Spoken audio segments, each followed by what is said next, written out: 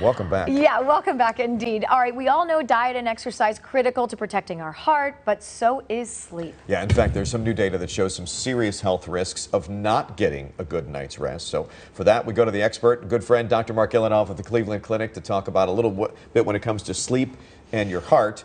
Now, obviously, you need sleep to rest, and your heart benefits yes. from that, right? But what happens when you don't get that sleep that you need? People always ask, how much? Right. How much sleep do I need? What's the number? To be healthy. And the number is seven to eight hours for adults. Mm-hmm. And of course, we all know those people who somehow get by in four hours, yeah. and there are other people who say they need 10 hours. Yeah, I mean, you. I, I need yeah, eight hours, but I only get about four. Right. Like last but, night, but you come out this alert, looking this good after four hours. It's amazing. I'm envious. No, I'm, it's, very it's, envious. This is not good. But health wise, no matter how you feel, health wise, your body is sending you a message I want seven or eight hours. Yeah. And if people don't get that much, doesn't mean they're necessarily always in trouble, but they're more likely to get into trouble. What kind of trouble? A lack of sleep can cause high blood pressure, weight gain, leading to diabetes, leading to heart disease, hypertension. And therefore, just like we tell people, exercise, eat a good Mediterranean diet, don't smoke, also get good sleep. And the American Heart Association, for the first time ever, added sleep to their list of behaviors as a thing you can and should do to control your heart, to control your heart's destiny. Well, think about it. I know, you know, our mothers always tell us sleep because it helps you heal, it helps your body heal. You definitely need it. 63% of Americans say they do not get enough sleep, especially during the week. Is there such a thing as kind of making up for it on on weekends or maybe breaking up sleep, getting a good nap during the day?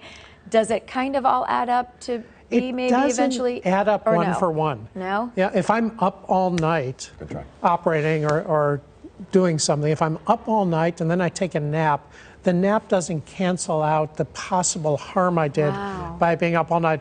It's like going and having a giant steak dinner and saying, I'll take a Lipitor. Mm. yeah, right? Wouldn't it be great if or that go worked? walk around the block, yeah, right? It doesn't work quite that way.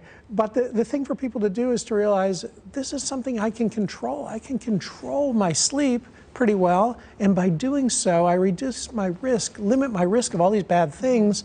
So you know, don't drink coffee in the afternoon. Don't drink a lot of alcohol at night.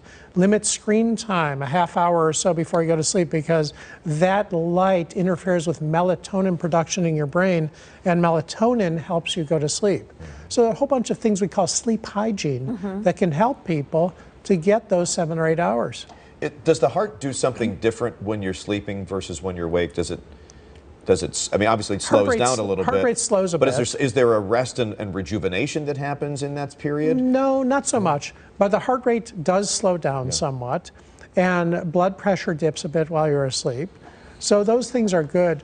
But overall, it's more about all of the other systems that affect the heart related to sleep. Like high blood pressure is bad for the heart, diabetes is bad for the heart, being overweight is bad for the heart, inflammation is bad for the heart, high LDL cholesterol is bad for the heart, and not enough sleep affects all those things, mm-hmm. which in turn hurt the heart. Gotcha. So we know we did a whole week devoted on the morning show a couple years ago to sleep, and we mm-hmm. all did different stories.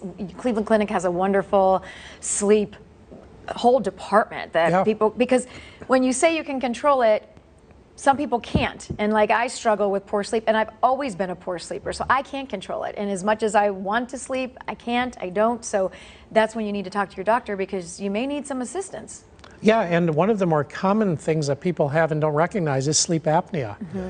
And it can happen to people even in shape, like you guys. I mean, the old image of someone with sleep apnea is somebody who's overweight. That's not necessarily true. Mm-hmm. So if you find that you are waking up a lot or somebody is with you, your partner, and notices that you seem to stop breathing for a little while, then mm-hmm. suddenly gasp, mm-hmm. those are signs, could be sleep apnea, which is 100% treatable.